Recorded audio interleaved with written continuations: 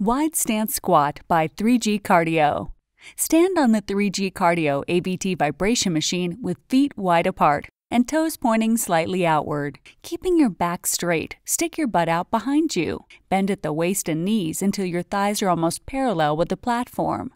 Imagine you're sitting on an invisible chair. Keep your knees behind your toes and your weight in your heels.